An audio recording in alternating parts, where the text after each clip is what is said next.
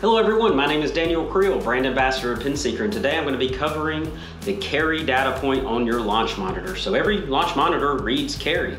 I love the carry data point. I always had it pulled up when I'm practicing, and when I'm teaching my students, it's one of the first icons that I look at or data point that I look at. And the reason why is the carry distance is gonna tell me if there's anything going on that day with their swing, and it's gonna let lead me to other data points to kind of diagnose the issue.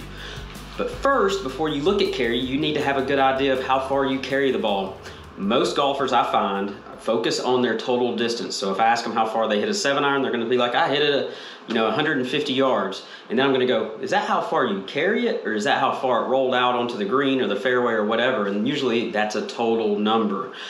I need you to know your carry distance and don't ever, I never focus on total. Very rarely unless I'm, I'm fitting a driver or something.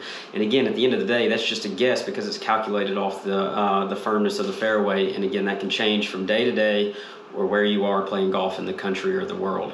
So carry distance doesn't change that much unless there's you know different sea levels and things like that different temperatures but you can gauge that before you tee off that's why it's important to know carry so what i want you to do is to get your carry number is you need to hit about 10 to 12 shots with each club in your bag.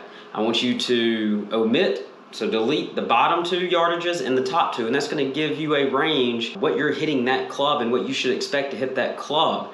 And I recommend you do this two to three times a year. And the thing is, is that's gonna keep you kind of one, how far you're hitting the ball, which is important when you go out to the course, but it's also gonna let you know, hey, am I gaining yardage? Am I hitting it better? Um, or am I hitting it worse and getting less? And it could be due to equipment changes, ball changes, even down to your shoe changes. So again, it's good to know your carry yardages, and that's gonna be the first data point that I want you to focus on to move on to the rest of the data points. But you gotta know your carry yardage, and if you're carrying it further than you normally do, or lower than you normally do. So good luck, and pay attention to that carry.